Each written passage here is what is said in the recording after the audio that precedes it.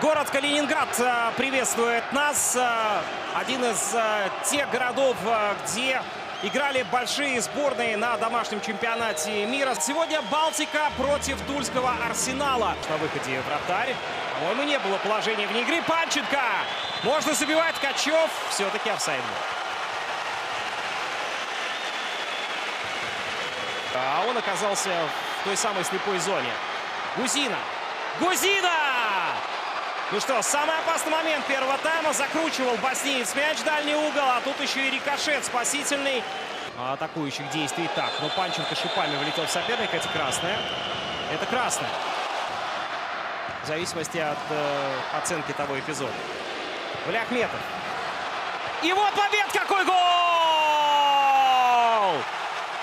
Забивает таки Балтика заслуженный мяч, мне кажется, и автором его становится Лазарев.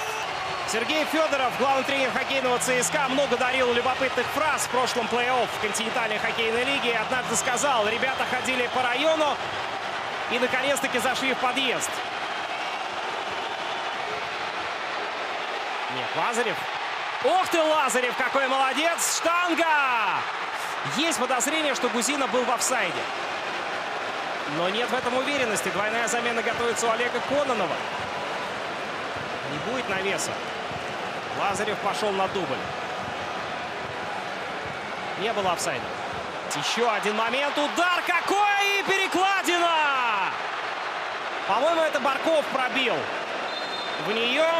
Итак, в концовке гол, штанга, перекладина. В общем, свой хитрик Балтика выбила и одержала вторую победу в нынешнем сезоне.